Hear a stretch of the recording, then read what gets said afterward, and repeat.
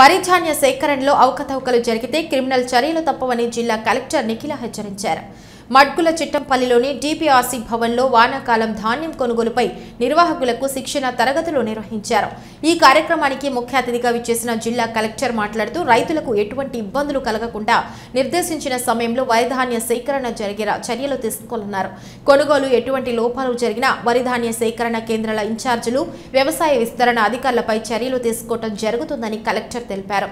జిల్లాలో గతంలో కంటే అధికంగా ధాన్యాన్ని సేకరించవలసి వస్తుందని ప్రస్తుతం వ్యవసాయ శాఖ అంచనాల మేరకు మూడు లక్షల మెట్రిక్ టన్నుల ధాన్యం సేకరించవలసి ఉంటుందని దానికి అనుగుణంగా అన్ని సౌకర్యాలను కల్పించేందుకు చర్యలు తీసుకోవాలని కలెక్టర్ అధికారులను ఆదేశించారు.